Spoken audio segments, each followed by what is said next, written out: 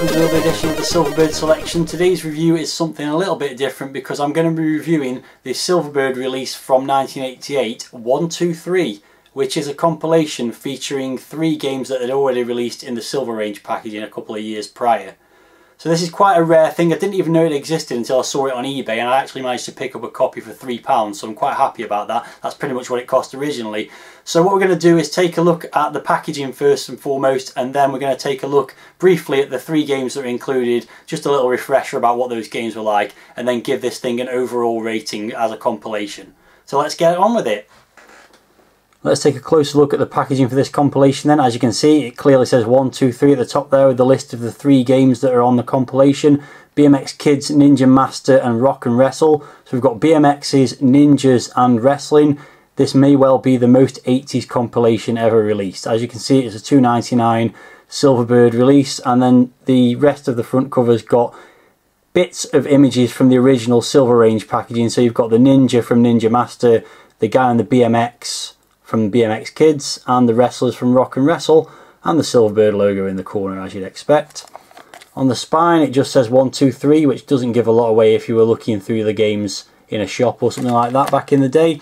And on the back we've got four screenshots and bizarrely it's decided to choose two screenshots from Ninja Master, uh, the Spectrum ones as you can see, uh, the title screen from Rock and Wrestle and just a random screen from the first level of BMX Kidz.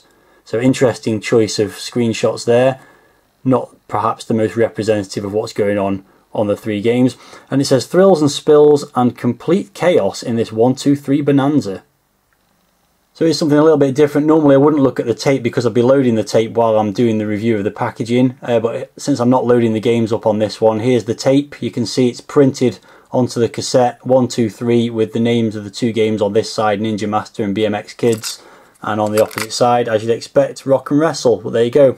I might do something on what all the tapes look like at some point in these Silverbird range games but uh, we'll see how that goes.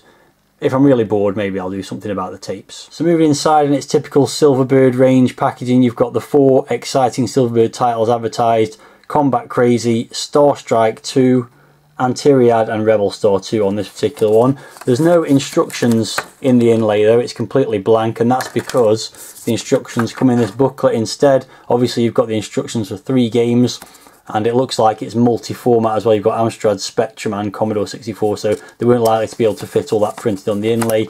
So I'm not going to go through the instructions in too much detail but you can see you've got the uh, rock and wrestle information first fairly detailed it looks like. Oh yeah, they've kept all the moves and stuff on there as well, which was on the packaging when we reviewed that game. Uh, so that's that covers most of the instructions I imagine. And then if we move on to the other side, what have we got? BMX Kidz, you've got gameplay instructions, loading instructions, and then Ninja Master looks like the same as well. So pretty much they've recreated all of the information from the original inlays on this what is that, eight page instruction manual. So pretty good, I would say. So that's the packaging. What we're going to do now is go and have a little look at each of the games and I'll share my thoughts about them again. If you want to see the original reviews of these games, obviously you can click on the cards I'm going to put up in the corner and watch the original reviews of the three games. So first up we have BMX Kidz, which is a pretty well programmed game, very similar looking and playing to Excitebike, the classic Nintendo game. You have to drive along, win the race or finish in the top four of the race on your BMX and after the first level you also have to start performing wheelies and stunts. I think it's a pretty decent game. Graphics are quite nice. The sound's alright in game. The music on the title screen was really good. That was a Rob Hubbard tune. And overall, I think it's quite a playable game, but a bit limited. The levels are really short, and after the first couple of levels, it gets really quite difficult. But overall, I thought it was a pretty decent game, and I gave it a 7 out of 10 when I reviewed it originally.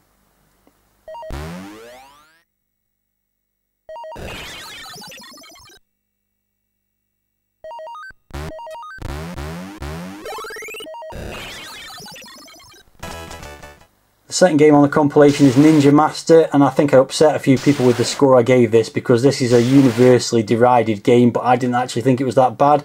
It's kind of a hyper sports style multi-event sports game but with ninjas. And yes the stages are fairly limited. It's basically just hitting things that come flying at you waggling a joystick to break a board or shooting at a target that comes past with a blowpipe. So yes, the graphics are not good, uh, the sounds are quite nice and it's got some decent speech and it's also got really nice presentation showing you how to play each stage before it starts. It gets boring fairly quickly, it's fair to say. It's not the best game in the world by any means, but I do think it provides a bit of fun and a bit of value, possibly more as a game to play with friends, even though you can't have multiple players at the same time. You could compete to see how good a ninja you were against other people. So yeah, this got terrible reviews and everyone seems to hate it, but I really didn't think it was that bad and I gave it a score of 6.5 which is definitely a little bit overrating it but I still think it had a little bit of value even if it wasn't an amazing game.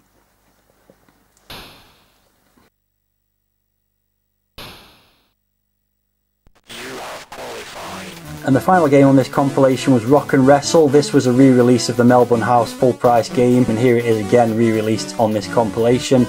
And I really like this game. It may not have the best graphics in the world, they're a bit chunky and blocky, but you've got loads of different moves, you've got one or two player action, the music in the background's really good and the sound effects are pretty decent as well.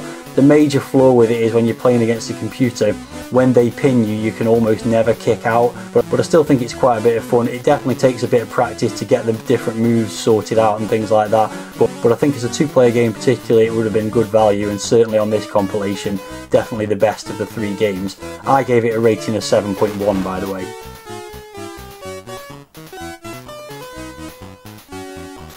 So there you go, that's a quick roundup of the three games on this compilation, and none of them I would say are absolutely awful. Obviously Ninja Master is the worst of the three, but I think they've all got some playability.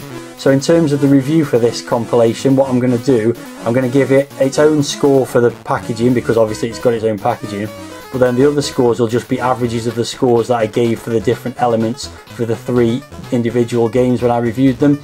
So starting with the packaging, I think it's pretty decent. I mean, all it is is a recreation of bits of the original packaging in the Silverbird 299 range packaging, so it's not amazing, but the instructions are pretty comprehensive. I'm going to give it a 7 out of 10 for the packaging. And then to quickly go through the other scores, presentation averages out at 7, graphics averages out at 6, sound averaged out at 7, playability averaged out at 6, which I think was 7 for Rock and Wrestle, 6 for BMX Kidz and 5 for Ninja Master. That gives it a total score of 7.1 and as for whether it's worth it, I mean I don't think you can argue three games for 2.99, two of which are definitely very playable and one of which might be a little bit of a duffer but still provides a pound's worth of value for sure. It's an absolute bargain this compilation, it's a bit of a shame they didn't do a few more of them. That rounds off my review of this 123 compilation. Definitely a bit of a curiosity in the Silverbird range, but not a bad one by any means.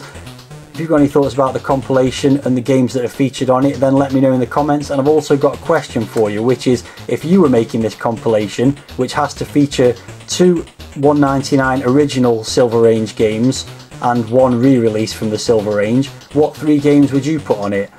So I'm going to put a list of most of the games that qualify for this on the screen. This is just a photo of the inlay of one of the later Silver Range games. So you have a pick from these and let me know which three you think would make the best compilation. For me, I decided to go with a compilation with a bit of a spacey, puzzly theme. So I would have chosen Warhawk, Caverns of Eriban and the re-release of Activision's Zenji. So let me know in the comments once again which three games you choose for a Silverbird 1, 2, 3 compilation. I'll be back with another game review very soon. Thanks for watching this one and see you next time.